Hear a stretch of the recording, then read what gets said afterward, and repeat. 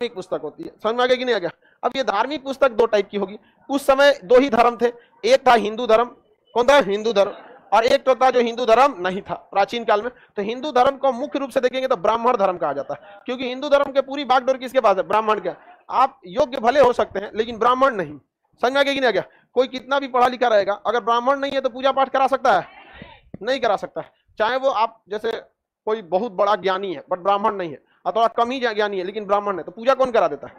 ब्राह्मण नहीं कराते। समझ में आ कि नहीं गया पूजा पाठ के लिए? आप लोग यहाँ भी आते होंगे ब्राह्मण लोग? श्राद्ध से लेकर जन्म से श्राद्ध तक पूरा का पूरा व्यवस्था किसके पास है?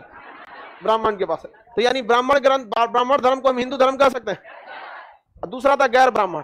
क्या था? गैर ब्राह्मण। गैर ब्राह्मण। दो तरह के धर्म थे, ब्राह्मण और गैर ब्राह्मण जैन धर्म किसमें आएगा? सर, हमारे यहाँ यादव जी भी पूजा करा देते हैं। करा देते होंगे। विद्वान होंगे, अच्छे होंगे, करा देते होंगे। अब ये बात, अब हमारे डिपार्टमेंट के बाहर का चीज़ है ये। समझ में आ गया कि नहीं आ गया? पूजा पाठ से हमारे डिपार्टमेंट का क्या है? बाहर का चीज़ है। हमारा तो प्रसाद ज़्यादा सही लगता है। लाओ भैया। किसी भी भगवान का कराओ, सत्यनारायण भगवान का कराओ, शंकर जी का कराओ, बजरंग बली कराओ, लाओ।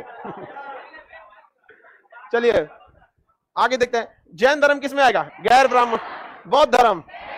इसमें दो धर्म आएँगे। कौन कौन जैन और बौद्ध। यानी बौद्ध धर्म से रिलेटेड जितनी भी किताबें आएँगी, वो गैर ब्राह्मण साहित्य में आएँगी। जैन धर्म की जितनी भी किताबें आएँगी, वो गैर ब्राह्मण साहित्य से आएँगी। जैसे त्रिपिटक सुत पिटक विनय पिटक ये सब बौद्ध धर्म की किताबें हैं। उसमें भी भारत की जानकारी मिलती है। समझ में आ रहा है कि नहीं? उसमें भी किसकी जानकारी मिलती है?